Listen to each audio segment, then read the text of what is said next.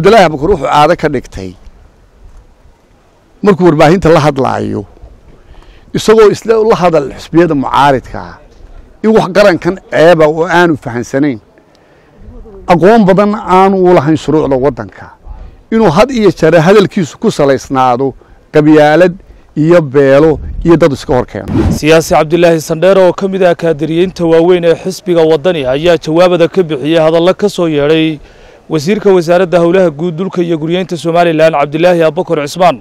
Siyaasi cabdilaahi sandheere ayaa xusay in wasiir cabdilaahi abakar aanu lahayn khibrad badan oo siyaasadeed. Waa sida uu sheegaye waana kan isagoo intaasi ku daraya in wasiir cabdilaahi abakar xitaa lagu dul maamulo wasaaraddiisa waa sida uu hadalka u dhigaye nin ka mid a wasiirada xukuumaddan wakhtigeedu dhammaaday. Ood mooddo inuu ka warwarsanaa. Isagoon taariikh wacan ku lahayn somalilan in badanna shaqaynayey in haddana wakhtigiisii gabagaba noqdo.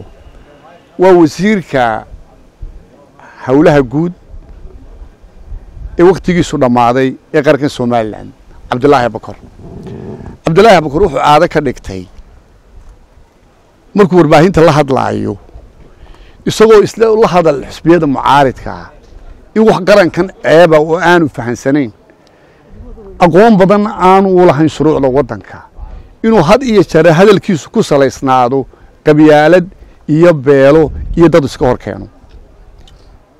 Waxaanu ka soo wada jeednaa gobol. Taariikh suntan buu leeyahay. Had iyo jereal wixiisu inay ku bayskaraysan yihiin inuu reero iska hor keeno. Tusaale waxaan isiinayaa ma fahamsanaa in dadka xusbiga waddani ku jira iyo ka ucud ku jira iyo ka kulmiye ku jira inuu qaranka dhan wasiiro u wada yahay wuxuu u haystaa inuu nooc midagulwadayna uu is leeyahay xukuumadda isku tus oo cimri dherer ka dhig inaad xusbiyada mucaaradka si beelaysan aad iskaga soo hor keento waxaan yar ka sheekaynaya cabdillahi taarikhtu soo maray. Waa koob iyo soddonkaa sannadood waa wasiirka qudha ee maxkamad la geeyey ee weliba lagu geeyey ciidamada nabadgelyada ee qaranka inuu la dagaalamay hub guriga ku urursaday meel walba hubkiisa uu yaallo oy bileysku ku soo qabteen. Waa qofka qudha ee qirtay inta rasaasoodii ku riday biliiska distoorku wuxuu dhigaya kol haddii maxkamad la mariyo oo weliba bileys la dagaalamo inaan horta xunka loo dhiibin horta waxay ka mid tahay fadeexadaha xukuumaddan wakhtigeedu dhammaaday astaamaha ugu xun bay ahayd inay kaa distoor jebina in cabdillaahi abakaroo kale wasiir laga dhigo waxaan intaa u dhaafay. Cabdillaahi taarikh xun buu ku leeyahay wasiirradu soo maray. Wuxuu helay xukuumad aan dadka la xisaabtamin. Wuxuu ahaa wasiirka waddooyinka musuq maasaq iyo isagoo waxba wadi kari waayey ayaa looga wareejiyey. Waddadaa dheer haddii odhid la geliyo iskarogooyinka buldowsarada cagafcafyada ku jira qaranka inta uu musuq maasaq ka galay tiradoodoo kooban waa la soo heli karaya markaa nasiib wuxuu helay dowladaan isla xisaabtan lahayn cidina dabagelaynin. Inuu horta cabdilaahi isagii weliba banka iskeeno. Waxaan taarikhdan idinka sheekaynayaa. Siyaasadda qabyaaladdu ka fahansan yahi wuxuu ka mid yahay wasiirada gobolka saaxil. Doorashadii dadbanayd ee berigii dhaweytaanu gallay isagoo aan siyaasaddiisu aaminsan tahay beelnimo.